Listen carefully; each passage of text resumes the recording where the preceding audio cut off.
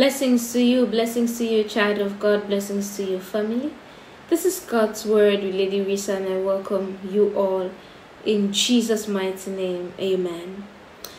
They think it's a joke, they will be shocked when it happens.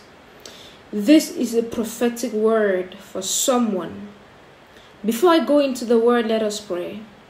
Father, we give you the glory and the praise. We exalt your name, for you are good, you are great, and you are mighty.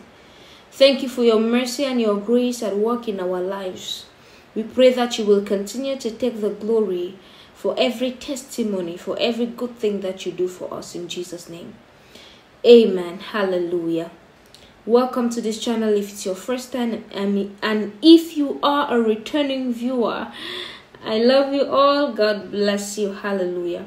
They think it's a joke, but they're going to be shocked when it happens. The Bible tells us in the book of Genesis, chapter 19, that Lot was just sitting at the city gate and he sees two men coming, and these men were angels.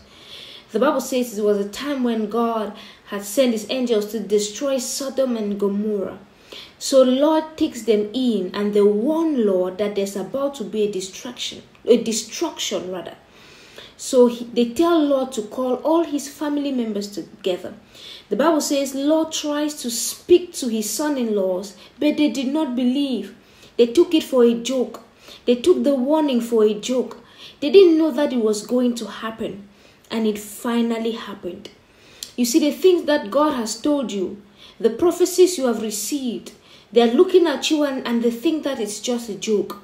But God's word never goes out and comes back the same.